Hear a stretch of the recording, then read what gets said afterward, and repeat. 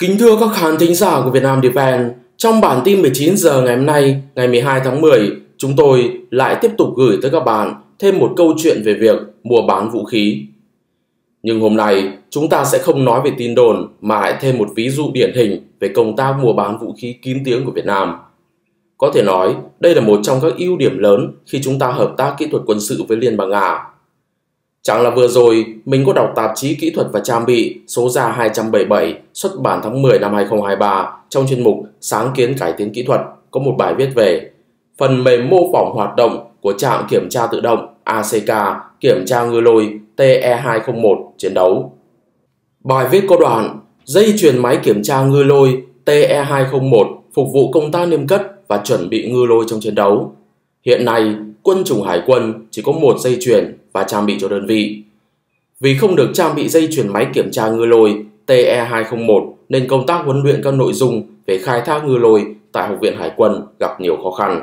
Không có tính trực quan, khó vận dụng, các phương pháp dạy học tích cực ảnh hưởng rất lớn tới chất lượng huấn luyện. Đối với các đơn vị trạm chuẩn bị ngư lôi, việc thiếu vật chất huấn luyện sát thực tế cũng ảnh hưởng rất lớn đến thời gian làm chủ, vận hành dây chuyền kiểm tra ngư lôi thật. Thực ra, cái câu chuyện phần mềm kiểm tra khí tải thì nó cũng là một sáng kiến hay, thiết thực, nhưng không hay bằng việc sao bỗng dưng lại có ngư lôi TE201 ở đây. Bởi lẽ, từ trước tới nay, từ các hình ảnh công khai trong nước và từ các tài liệu quốc tế mà một nguồn đối chứng nổi tiếng là Viện Nghiên cứu Hòa bình Quốc tế Stockholm SIPG của Thụy Điển và kể cả các nguồn tin từ Nga chưa bao giờ ghi nhận việc Việt Nam nhập khẩu ngư lôi TA201.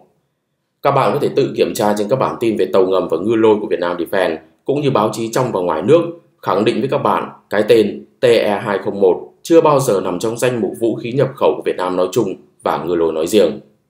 Cho tới giờ phút này, chúng ta đã nhiều lần nói với nhau về việc trong hợp đồng mua 6 tàu ngầm Kilo 636, chúng ta đã mua kèm cả hệ thống tên lửa hành trình Calip và hai loại ngư lôi hạng nặng 533 ly. Mà theo thống kê của mạng SIPG, cụ thể bao gồm 50 tên lửa hành trình phóng từ tàu ngầm, bao gồm các loại đạn 3M54 và 3M14 Calip, 80 ngư lôi chống tàu mặt nước kiểu 5365K. Đây là một loại ngư lôi chuyên dùng để tiêu diệt tàu mặt nước, sử dụng đầu dò tìm, sóng chấn động áp lực. Đây được xem là một cơ chế dẫn đường hữu hiệu, hiện không có biện pháp gây nhiễu nào có thể đối phó với cơ chế này, chỉ có cách phát hiện sớm và đánh chặn thì may ra. Tuy nhiên, nhược điểm của nó là sẽ phang bất cứ con tàu nào đang di chuyển gần nhất chứ không biết chọn mục tiêu nào là ngon ăn nhất.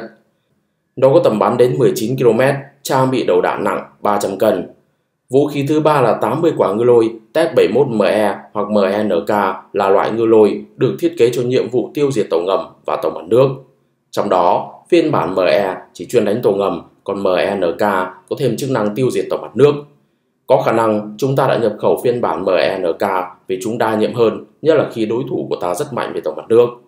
Loại ngư lôi này được trang bị đầu dò thủy âm chủ động và bị động, kết hợp bộ phận điều khiển từ xa qua dây dẫn để giúp ngư lôi công kích mục tiêu hiệu quả mà không cần lệ thuộc vào sóng chấn của mục tiêu.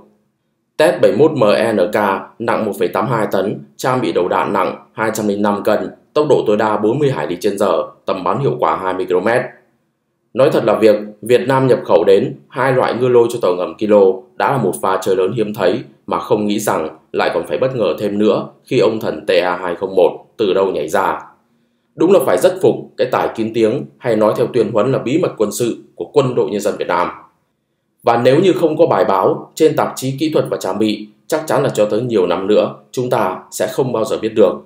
Tuy nhiên, vừa rồi, số ra 277 đã thông tin qua một bài viết về nghiên cứu phần mềm phục vụ việc huấn luyện các sĩ quan hải quân tương lai, nguồn nhân lực quan trọng của Hải quân Nhân dân Việt Nam hiện đại. Nói dân giá, không khéo, công khai cái cũ thì xem chừng đã có cái mới rồi cũng nên, ai mà biết được. Thực ra thì nghe cái tên TE201 đã thấy ngon rồi vì so với kiểu 5365K và TET 71 được thiết kế từ thập niên 60-70 đến nay vẫn còn được sản xuất và phục vụ xuất khẩu thì TE201 là một cái tên rất mới. Nó là phiên bản của mẫu ngư lôi điện TE2 được chế tạo vào cuối thập niên 2000 trở đi. Theo các tài liệu tiếng Nga mà chúng tôi thu thập được, chương trình phát triển ngư lôi TE2 đi kèm với dự án tàu ngầm diesel điện 677 Lada đầy tham vọng của Hải quân Nga nhằm thay thế đề án 636 kg. Tất nhiên, như chúng ta đã biết, đề án 677 Lada đến nay coi như đã không đạt yêu cầu về mặt nhiệm vụ ban đầu, đó là phát triển tàu ngầm, sử dụng động cơ đẩy không khí độc lập AIP. Dù vậy, ngư lôi TE2 đã được phát triển thành công bởi công ty cổ phần vũ khí dưới nước chi nhánh của Tập đoàn Vũ khí Chiến dịch Chiến thuật KTRV được sản xuất hàng loạt từ năm 2007 tại nhà máy ở Saint Petersburg và chính thức có mặt trên thị trường xuất khẩu từ năm 2009 trở đi. Như vậy, không loại trừ khả năng Việt Nam nhập khẩu TE2 cùng đợt với chương trình mua 6 tàu ngầm kilo, nhưng vì một lý do đặc biệt nào đó, chúng ta chỉ công khai hai mẫu ngư lôi có nguồn gốc từ thời Liên Xô. Còn dấu biệt thông tin về mẫu ngư lôi được sản xuất dưới thời nước Nga hiện đại. Kín đến nỗi, chúng tôi tìm hiểu một vài trang quân sự tiếng Nga nhưng hầu như cũng chưa ghi nhận bất cứ hợp đồng xuất khẩu nào. Công nhận là giỏi thật, muốn bí mật hay không mà thôi, chứ còn đã không muốn nói thì đừng hỏng biết được. Về mặt tham số kỹ thuật, theo tài liệu của Tập đoàn xuất khẩu vũ khí nhà nước Nga, TE2 được xếp vào dạng ngư lôi đa dụng chạy điện dẫn hướng từ xa. Nó được thiết kế để tiêu diệt tàu ngầm và tàu nổi đang di chuyển cũng như các loại mục tiêu cố định. Loại ngư lôi này có thể được phóng từ tàu ngầm theo hai chế độ tự hành hoặc điều khiển từ xa hay từ tàu nổi theo chế độ tự hành.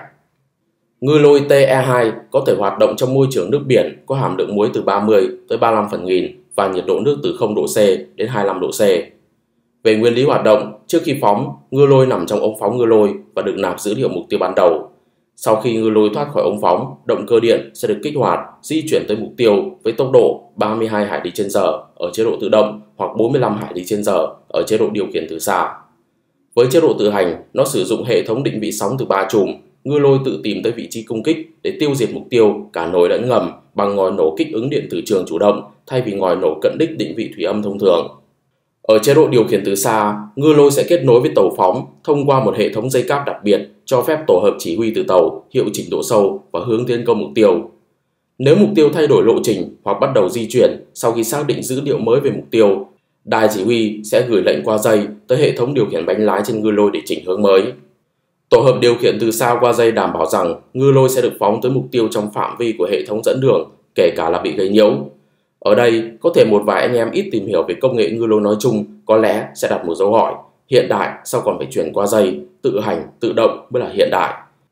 Thực ra, chuyển qua dây là một trong những phương thức điều khiển vũ khí tương đối phổ biến trong một số lĩnh vực như dẫn đường tên lửa tầm ngắn và ngư lôi. Nó phổ biến ở tất cả các nền khoa học quân sự tiên tiến, không chỉ Nga mà cả phương Tây. Với ngư lôi, nhiều loại ngư lôi 533 ly tiên tiến nhất của phương Tây như Black Shark của Italia, DM2A4 của Đức, MK48 của Mỹ đều có chế độ điều khiển qua dây bên cạnh chế độ tự hành. Thậm chí, phiên bản Brightstar của Italia còn ứng dụng công nghệ cáp quang cung cấp băng thông rộng hơn, xử lý tín hiệu nhanh hơn so với cáp đồng. Quả thật, nghe cứ như cái thời chuyển đổi mạng Internet từ cáp đồng đến cáp quang. Ngư lôi dẫn đường bằng dây mang lại cơ hội tốt hơn để đánh bại các biện pháp đối phó, chẳng hạn như mồi nhử và thiết bị gây nhiễu, vì người điều khiển có thể dựa vào dữ liệu sonar tàu ngầm thay vì dữ liệu sonar của ngư lôi vốn có tầm chính xác cũng như độ nhạy kém hơn hẳn. Ông Boris Obnosov, Tổng Giám đốc Tổng Công ty Tên lửa Chiến thuật Nga tuyên bố vào năm 2021. Lưu ý, nếu triển khai từ tàu mặt nước, ngư lôi TA2 chỉ có thể hoạt động trong chế độ tự hành, còn nếu phóng từ tàu ngầm, có thể hoạt động với cả hai chế độ, tự hành và điều khiển từ xa. Hiện TE2 có 3 phiên bản được thiết kế để sử dụng trên tàu ngầm và tàu nổi, trang bị ống phóng ngư lôi cỡ 533 ly bao gồm TE201 có chế độ nạp phần tử bắn thủ công, đây là phiên bản mà Việt Nam đã nhập khẩu. TE202 có chế độ nạp phần tử bắn bằng điện qua thiết bị đồng bộ phần tử điều khiển từ xa lắp sẵn trên tàu mẹ. Và TE203 là bản nâng cấp tính năng chiến đấu có chế độ nạp phần tử bắn bằng điện thông qua thiết bị đồng bộ phần tử điều khiển từ xa lắp sẵn trên tàu mẹ. Về ngoại hình, cũng như các mẫu ngư lôi truyền thống, TE201 có hình dạng như một điếu xì gà, được chia làm 7 khoang bao gồm một là khoang đầu trang bị hệ thống dẫn đường tự động với sonar chủ động và thụ động. Hai là khoang chiến đấu chứa ngoài nổ tiếp xúc và cận tiếp xúc cùng chất nổ hỗn hợp đảm bảo một phát ăn ngay với khối chiến đấu nặng 250 cân. Ba là khoang dụng cụ chứa máy tính chuyên dụng cỡ nhỏ, bộ phận của hệ thống điều khiển tự động và từ xa. Bốn là khoang chứa pin sử dụng một lần, được biết TA2 sử dụng công nghệ pin lithium ion 5 là khoang động cơ chứa một máy phát điện kép cũng như bộ phận cài đặt độ sâu hoạt động, nạp dữ liệu thủ công với phiên bản TE201 và cuộn dây điều khiển từ xa. 6 là khoang điều hướng với chân vịt bốn cánh và các bánh lái dọc ngang để điều khiển hướng, độ sâu của ngư lôi. 7 là bộ phận điều khiển từ xa kết nối với tàu phóng, tùy phiên bản mà bộ phận này có thể có hoặc không. Ví dụ, phiên bản TE201 sử dụng dây dẫn phóng từ tàu ngầm có chiều dài 8,18m, trong khi phiên bản tự hành chỉ dài 7,86m. Tương tự, trọng lượng cũng có sự khác biệt, lần lượt là nặng 2,4 hoặc 2,35 tấn. Về cự ly phóng, ở chế độ điều khiển qua dây thì tầm bắn của TE201 là 15 km, ở chế độ tự hành, tự tìm và sục xạ mục tiêu, tầm bắn tăng lên 25 cây. Như vậy, TA2 hơn hẳn về tầm bắn hiệu quả tối đa nếu so với hai loại ngư lôi 5365K và TET71. Về độ sâu tấn công, TA201 có thể tiêu diệt tàu ngầm ở độ sâu từ 20m tới 450m, trong khi phiên bản TA203 tăng lên tới 600m. Nhà sản xuất cho hay, ngư lôi TA2 nhìn chung có hiệu suất cao ở vùng nước nông, độ ổn thấp nhờ sử dụng động cơ điện thế hệ mới. Bình luận về ngư lôi điện, ông Aronamic, một chuyên gia về sonar hải quân của Hải quân Hoa Kỳ, đã nói như thế này với tạp chí The Warzone. Ngư lôi điện có một số khả năng mà ngư lôi nhiệt không có. Lưu ý chút, ngư lôi nhiệt là thuật ngữ chỉ ngư lôi sử dụng nhiên liệu kết hợp động cơ tua bin như kiểu 5365K. Các ngư lôi điện sử dụng động cơ nam châm vĩnh cửu, mô men xoắn cao, có khả năng tăng tốc trong chưa đầy một giây lên tới 50 hải lý trên giờ gần như ngay lập tức vì chúng không có độ trễ cơ học và quán tính nhiệt mà ngư lôi phải khắc phục trong quá trình khởi động. Dĩ nhiên, ngư lôi nhiệt cũng có những ưu điểm nhất định, do đó hiện nay người ta có xu hướng phát triển song song ngư lôi điện và ngư lôi nhiệt chứ không phải là từ bỏ bất cứ loại nào. Cũng theo nhà sản xuất, ngư lôi TA201 có tuổi thọ lên tới 10 năm, nếu lắp trên tàu trực chiến thì tuổi thọ lên tới 1,5 năm, còn lắp trong ống phóng lôi giỏ nước thì tuổi thọ là 6 tháng. Mặc dù nói là tuổi thọ khi bảo quản niêm cất là 10 năm, nhưng có thể hơn nếu được bảo quản định kỳ. Thực tế, Hải quân ta hiện cũng đang niêm cất cũng như sử dụng một số loại ngư lôi kiểu cũ được viện trợ từ thời Liên Xô.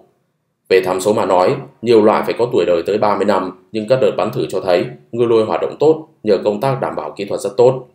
Nhìn chung, nể phục quân đội ta thật sự ở khoản kín tiếng, dĩ nhiên cũng phải nhờ sự hợp tác hết mình từ nước Nga, bởi lẽ là bên bán, họ cũng có quyền tuyên bố cung cấp cho ai, cái gì. Nhưng ở đây, họ hợp tác theo yêu cầu rằng không công bố. Và thực tế, rất nhiều đơn hàng của ta với Nga từ thập niên 90 tới nay đều luôn nằm trong một lớp sương mù dày đặc. Bởi phần lớn thứ mà chúng ta cập nhật hiện nay chỉ là căn cứ vào tài liệu nước ngoài và các hình ảnh bên ngoài, chứ bên trong thì chịu chết. Tuy nhiên, với các thương vụ mua bán vũ khí của Mỹ, e rằng sẽ không thể bí mật tới phút chót hoặc vài năm sau đó, vì luật của họ cũng không cho phép điều đó. Dĩ nhiên, chúng tôi nói như vậy không có nghĩa là bảo rằng không nên mua vũ khí của Mỹ, bởi lẽ cần nhắc nhở về việc từ sau khi Liên Xô tan rã, xu thế của chúng ta là đa phương hóa, đa dạng hóa, không chỉ về chính trị, kinh tế mà cả an ninh quốc phòng. Vì vậy, xu thế đa dạng hóa nguồn cung vũ khí là việc tất yếu và đang diễn ra chứ không phải là mới. Ta đã nhập khẩu không ít hệ thống vũ khí của phương Tây, bao gồm các khí tài hiện đại như máy bay, hệ thống tên lửa, chứ không đơn thuần là vài khẩu súng hay kính ngắm. Nhưng chúng tôi vẫn luôn tin rằng với các tổ hợp vũ khí mang tính trọng điểm, chiến lược thì không ai khác, nước Nga vẫn là số 1.